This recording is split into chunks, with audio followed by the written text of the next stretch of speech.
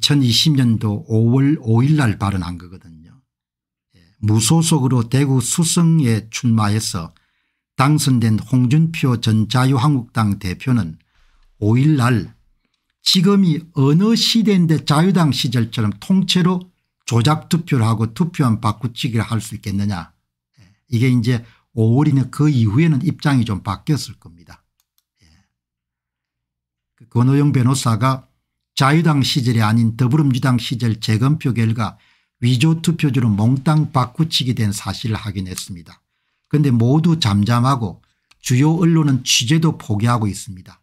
정치꾼들은 대한민국을 사기극으로 가지고 놀면서 점점 불법 천지로 만들려고 하는 위험하고 무책임한 짓들을 하고 있습니다. 국민이 깨어서 거짓말한 정치인들을 선택해야 될 책임을 느낍니다. 이렇게 되잖아요. 그죠? 예. 여러분들 다시 강조하게 되면 선관위 주도 사전투표 득표수 조작을 한번 보시기 바랍니다. 공직선거에서는 공직선거에서는 후보별 사전투표 득표율하고 당일투표 득표를 해서 사전투표 득표를 조작을 하는 겁니다. 국민의힘 당대표 선거에서는 예, 사전투표 득표에 가름하는 것이 모바일 투표 득표를 조작한 겁니다. 그러니까 국힘도 부정선거로부터 자유로울 수가 없는 겁니다. 음. 예. 여러분들 이걸 보시게 되면은 이게 여러분들 여러 번 보시다시피 예, 이것이 2022년 강서구청장 보궐선거의 차이값이고 이것이 2023년 10월 11일 보궐선거 차이값이지 않습니까 예. 그죠 예. 여러분 이거 한번 보시기 바랍니다. 이게 강서구청장 보궐선거거든요. 오른쪽이 여러분들 2021년 6월 국힘의 당대표 경선이거든요.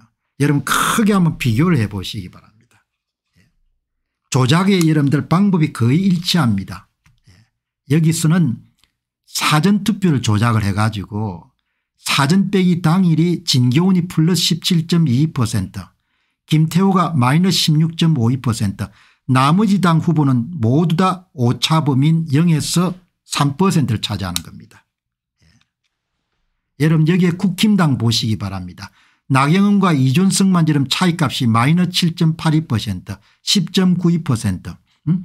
주호영 조경태 홍문표는 여러분들 다 차이값이 오차범인 0에서 여러분 3% 차이인 겁니다. 이 두 선거를 다 누가 했습니까 선거관리위원회가 한 겁니다. 예. 선거관리위원회가 여러분들 이 선거를 다 한 겁니다. 선거관리위원회가 공직선거에서는 사전투표 투표를 조작을 하고 국민의힘의 당대표 경선에는 모바일 투표를 조작을 한 겁니다. 여러분이 한 표로 보시게 되면 그냥 그대로 표시가 나죠. 선관위 주도 사전투표 득표 조작은 공직선거는 차이값을 가지고 하고 이 보시기 바랍니다. 이 보시게 되면은 국민의힘 당대표는 모바일 투표를 조작을 한 겁니다.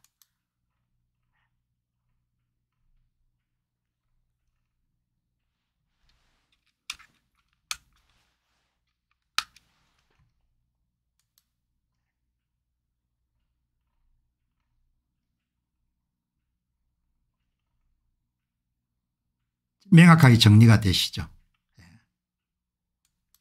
예. 그 전산 조작을 해가지고 여러분들 다 이렇게 조작을 예.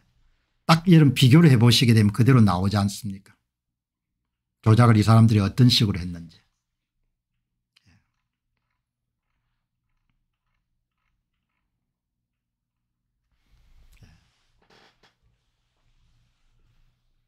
이제 뭐 가장 중요한 문제가 이런 식으로 하기 때문에 뭐 이 사람들이 이제 위조 투표지를 만든 방법을 이 보시게 되면은 이 사전투표 관리관 도장을 다 온라인상에서 이미지 파일을 쓰기 때문에 이게 사전투표지 않습니까 예.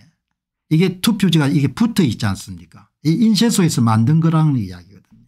예. 그러니까 전면 수개표한 게 다 사긴 겁니다. 그냥 투표함 속에 다 가짜 투표지를 넣어 놓은 것을 그냥 수작업으로 여러분들 세자는 겁니다. 이렇게 사기를 치가지고 국민들한테 이 보시기 바랍니다. 이게 여러분들 QR코드가 있어 사전투표용지인데 투표용지가 안에 이런 본드가 있어가 여러분들 이게 또 붙어 있는 겁니다. 본드가 있어가지고. 여러분들 이것도 본드가 이런 붙어 있는 본드, 본드를 붙어 가지고 이게 사전투표 중에 본드가 붙었다는 이야기는 인쇄소에서만 이런 본드를 사용하지 않습니까